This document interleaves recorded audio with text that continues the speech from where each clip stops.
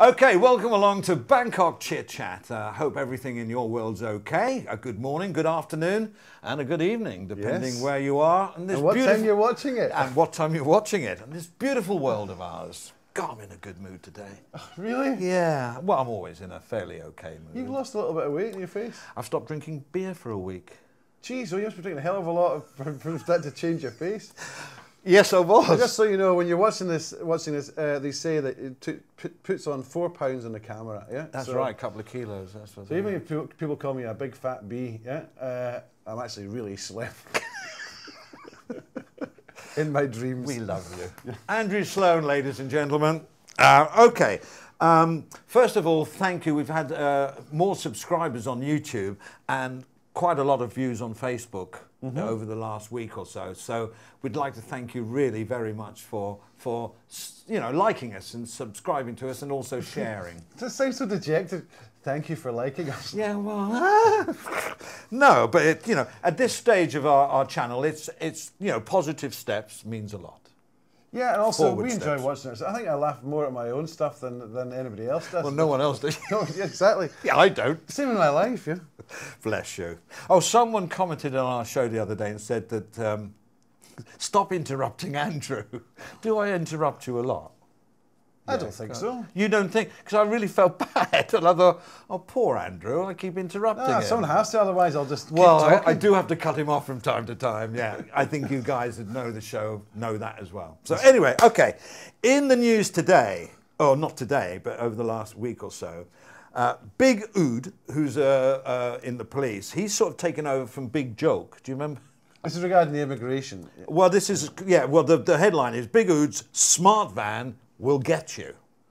All right, so you, Dun, you- dun, dun. yeah, well, that exactly. Immigration in the northern Thailand province of Nong Bua Lamphu proudly showed off their latest weapon in the war against illegal foreigners. Most of our stuff's linked in it to this. Never mind. Uh, it's the smart van, and is the idea of Immigration Chief Lieutenant General Sumpong Big Ood. Uh, this story is from the Thai Rath newspaper, by the way. Uh, gives it credibility. Yeah. The van is equipped with the capability to check foreigners' credentials, people who might be on overstay or who are in the kingdom illegally. Now, you know, when you think of a smart van, I'm thinking of like DEA surveillance Yeah, and the the CSIs, and, uh, and you open up the back and there's like a bank of computers and flashing Yeah. lights and people. Yeah, right, right, Yeah. right. Well, it does sound very high tech, smart van. Well, here's a picture of it. Don't. Now, we're not taking the mickey, but it's not quite what we expected when we saw the headline. Yeah. I think the Thai Wrath was uh, uh, pushing the envelope, so to speak. Yeah. Well, we, we know whose idea it was. Uh, what is it and how does it work? And have they caught anyone yet? We'll be answering those. Well, what is it and how does it work? Local immigration chief, police, police major Ukrit Sadao, said that a computer is used in the smart van to access the system. So you can see from the picture, it's what is commonly known as a computer, technical term laptop, which has been ingeniously placed on a tray table for added comfort and efficiency. He's got Tinder on there, hasn't he? No, no, no, no, right. So that's the smart But van. it's smart because he's actually using it. If you notice, he's using a touch screen. Also, it's a modern computer then. It's an up-to-date computer. It doesn't really look it to me, but uh, it's. Uh, And I don't think it is a pickup. It looks like a sort of a, a Altis or a, a Camry or something, doesn't it? It looks pretty decent inside the cab. yeah, yeah, Yeah, yeah. Right? So what I'm saying is you could do all that on a smartphone, couldn't you? Uh, yes, you could, but I mean, obviously, they could do it on a tablet, to be honest, rather than just a laptop. Yeah, uh, because you want the, you want the screen to be a, a reasonable size. You're driving along, yeah. But have you ever, have, Oh, you- God, have you, do, do, do, have you do, do. ever actually been in your mobile phone or uh, worked on a computer uh, when you're driving? It makes it makes me feel sick. It makes me feel Does it? nauseous. Yeah. Uh, it does some people. I've got a niece that has to sit in the front, although I think she likes sitting in the front. but she says in the back she gets car sick. But she gets air sick, boats, seasick, and I everything. always get so put in the motion because of, sickness. because of my, my size. yeah. Well, you shouldn't be looking at a phone when you're driving. No, anyway. not when I'm driving. I'm talking about a passenger seat.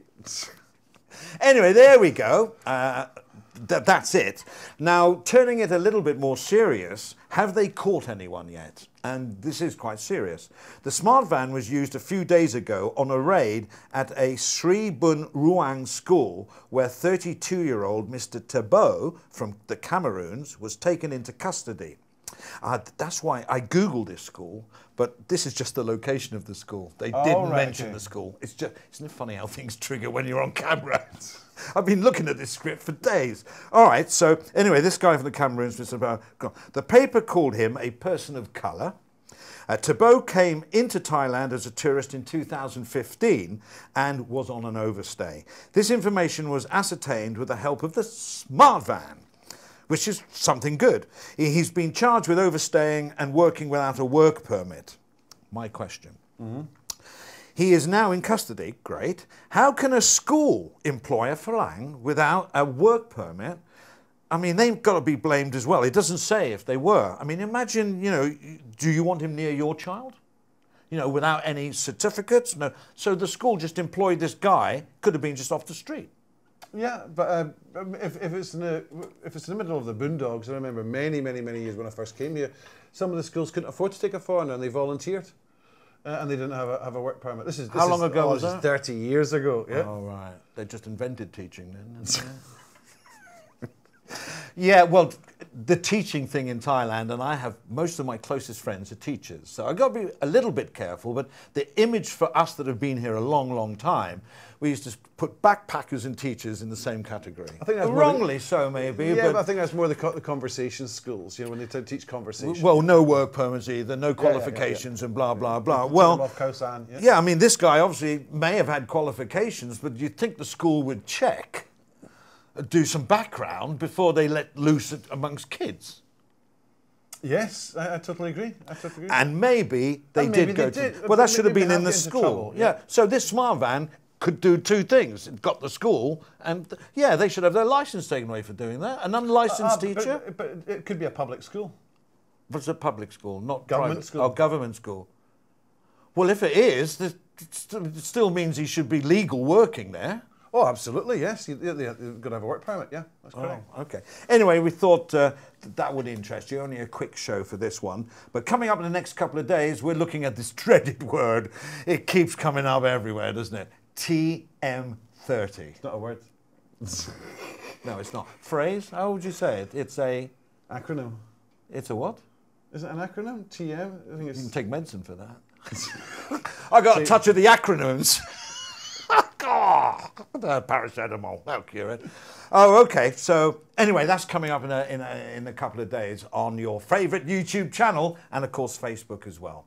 Please, if you haven't subscribed already, subscribe. That helps us a lot, and like and share as well because, uh, well, that's the way it goes on YouTube and Facebook. Yep. Yep. So we'll see you soon See here you at soon. Bangkok Chit Chat.